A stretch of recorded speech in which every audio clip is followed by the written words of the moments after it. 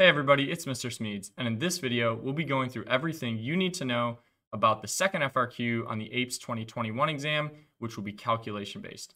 If you're ready to think like a mountain and write like a scholar, let's get started. First, make sure to hit the like and subscribe button if you haven't already, and then turn on notifications so you don't miss video number three in this series, which will cover the FRQ that's based on solving an environmental problem. Video number one covered the FRQ that was based on experimental design, and I'll also be coming out with a must-know topics video before the first exam on May 14th. The other thing you should do is go down to the comments section and leave a comment with where you're studying from and which exam you're taking. One of my favorite parts of exam prepping with APE students last year was just the sense of community that evolved in the comment section. It was really supportive and it was a lot of fun to see where you guys were studying from. So if you can leave a comment down there, let's try to get that positive energy going again for the APES 2021 exam. Another thing to check out down in the video description is the link tree, which is going to have a ton of APES resources that'll help you get ready for this exam. Make sure to follow the APES TikTok account, APES versus Everybody, the APES Instagram account, APES versus Everybody, for lots more bite-sized review as we get closer to that first exam date, May 14th. So the first thing you need to know about the calculation-based FRQ in the APES 2021 exam is that about 6 out of the 10 points in this FRQ will be based on math. Now that breaks down to about 6 out of 30 of the total points, or 20%. Since the FRQs are worth 40% of the total exam, this means that performing math calculations on the FRQ section is worth about 8% of the total exam. That's enough to make sure you go through this video and that you're comfortable doing these calculations, but not so much that you need to be super stressed out or think that you're going to bomb or fail the entire exam if you can't perform all of these math calculations perfectly. Based off the College Board's YouTube live stream reviews, it looks like this will take the form of about three questions, each worth two points.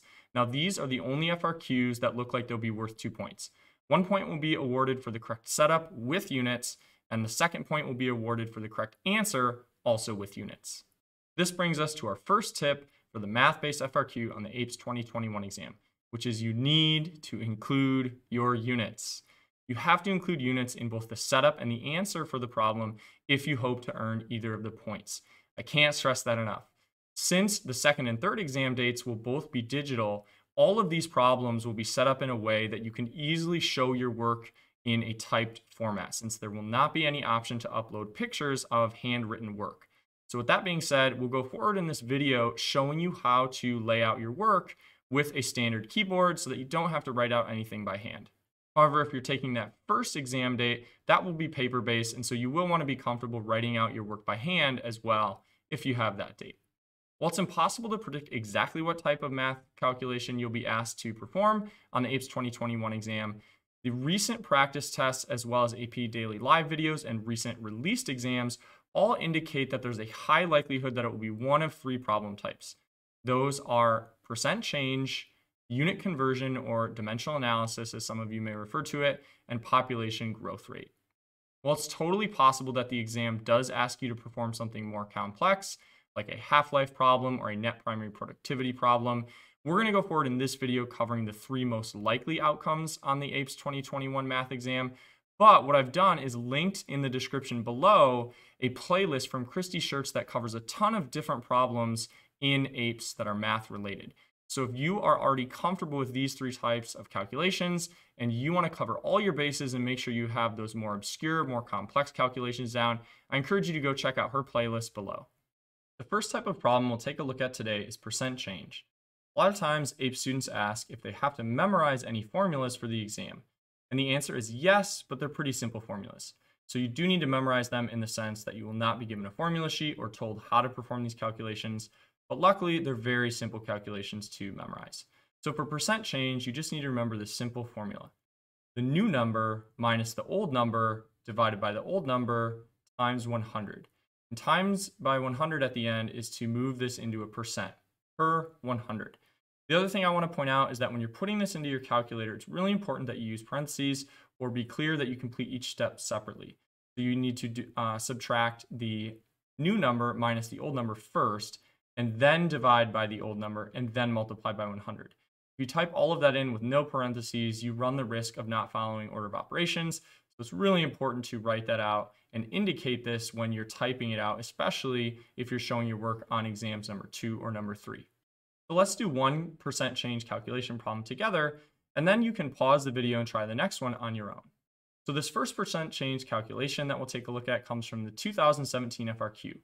What we have here is a data table that shows the estimated elephant population on the African continent over time.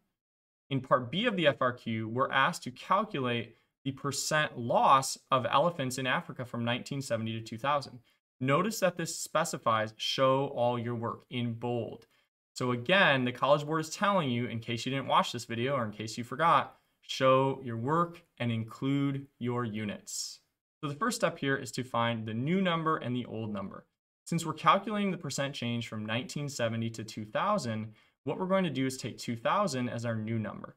And the population in 2000 is 400,000 elephants. So we're going to subtract 400,000 elephants minus 2 million elephants because that's the population in 1970 or our old number. So when we set this up, we have 400,000 elephants minus 2 million elephants all over 2 million elephants.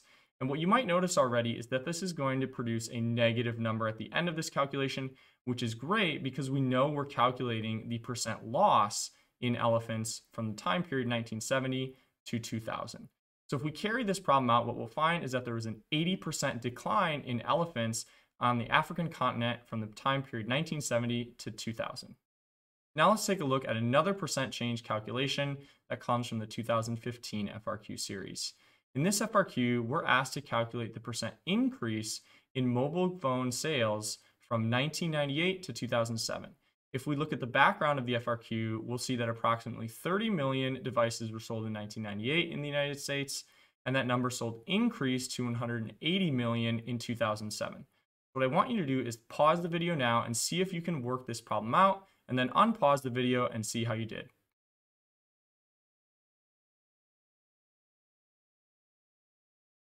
So hopefully you were able to set this up properly and perform the calculation to find that there was a 500% increase in mobile phones from 1998 to 2007. As a reminder, it's really important to carry the units all throughout the setup and the final answer. So if we walk through this quickly, we have new minus old all over old times 100. The new value would be 180 million phones, since that's the number that was sold in 2007, with the old value being 30 million phones. So we essentially have 180 minus 30 all over 30 times 100. It's important that you should still write the million in here just to be safe, and that you should also write that we're dealing with phones. Again, you just want to make sure that you're always including your units in both your setup and your answer.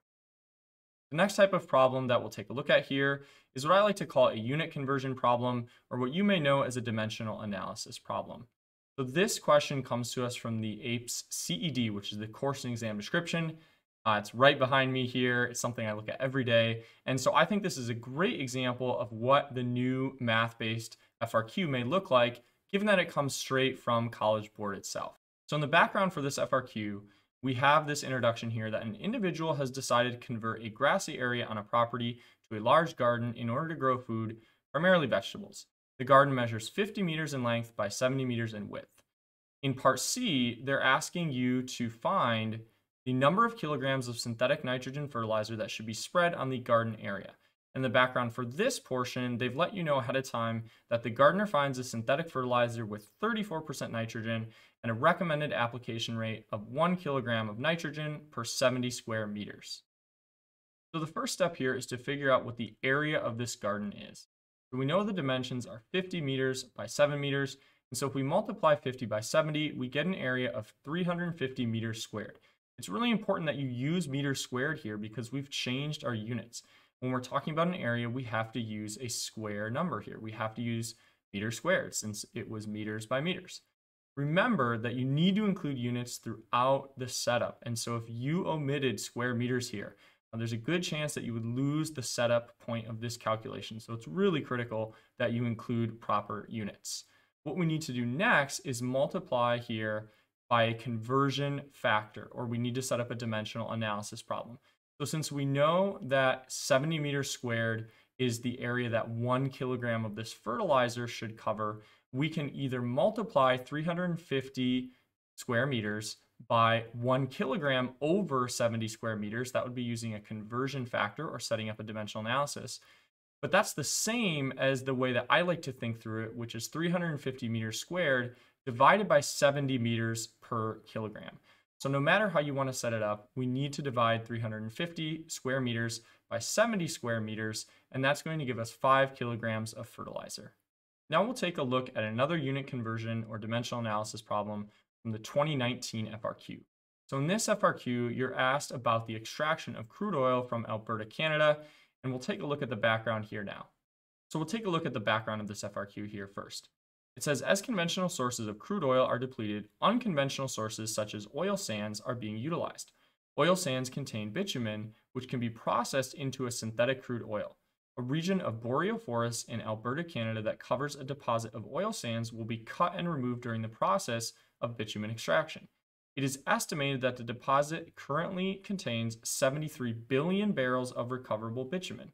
The rate of extraction from the deposit will be approximately 1 million barrels of bitumen per day. In part D, we're asked, assuming the above extraction rate, calculate how many days will be needed to extract the recoverable volume of bitumen from the oil sands.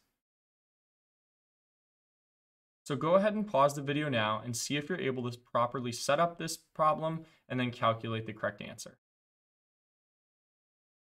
All right, let's take a look at how you did on this practice unit conversion problem. So this is a relatively simple setup where we're really just dividing the total number of barrels, which is 73 billion, by the number of barrels that can be extracted per day, which is 1 million barrels. If you want to use dimensional analysis, you're technically multiplying 73 billion barrels by the conversion factor one day over 1 million barrels, but this is the same as the division problem that I first described here in this walkthrough.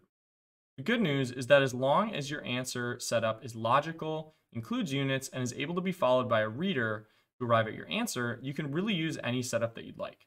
The only real trick here is remembering how many zeros are in a billion and a million, and then correctly entering those in your calculator. If you're more comfortable with scientific notation and remember that 1 billion correlates to 9 zeros or 10 to the 9th, and a million refers to 6 zeros or 10 to the 6th, that's a fine way to set this up as well. Again, either way works so long as you're dividing 73 billion barrels by 1 million barrels per day, and you end up with a timeline of 73,000 days. Make sure to leave a comment below if you're able to work through this correctly or if you ran into any issues or had a different way of setting this up. And the final type of problem I want to make sure you're prepared for on this 2021 exam is calculating population growth rates and doubling times using the rule of 70. So it's important to remember that when you're calculating population growth rate for human populations, we're probably going to be working with CDR and CBR, which refers to crude, de- crude death rate and crude birth rate. This is the number of deaths and births per 1,000 people. So when we set this up, what we're going to need to do is subtract CBR, or crude birth rate, minus CDR, or crude death rate, and divide that quantity by 10. The reason we're dividing by 10 is the fact that crude birth rates and crude death rates are expressed per 1,000 people, and we want an answer of percent growth rate, and percent refers to per 100. So if we take a look at an example country here, which would be Nigeria, Nigeria has a CBR of 37 and a CDR of 12.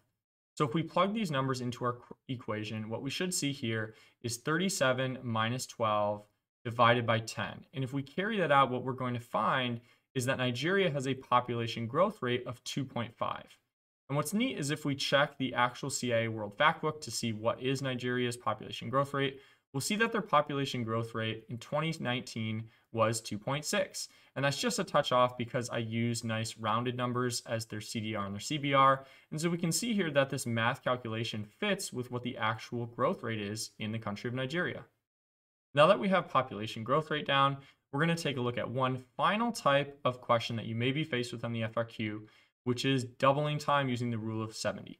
This often appears as a single multiple choice question on exams, so it's still not a bad idea to have it down, even if you don't face it on an FRQ.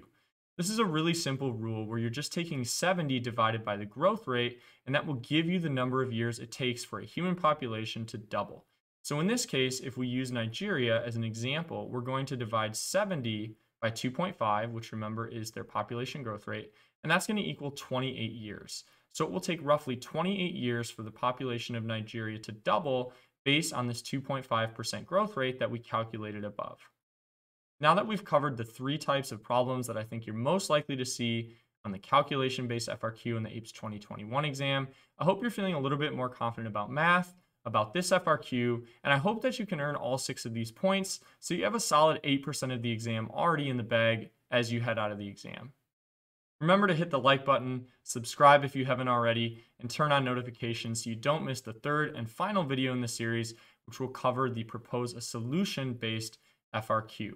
I hope that as you're heading into your final week of studying here, if you're taking the May 14th exam, you're feeling a little more confident, a little less stressed. And I hope if you're taking the May 27th exam or the June 11th, you have some solid strategies to practice when it comes to the math FRQ here. As always, think like a mountain, write like a scholar.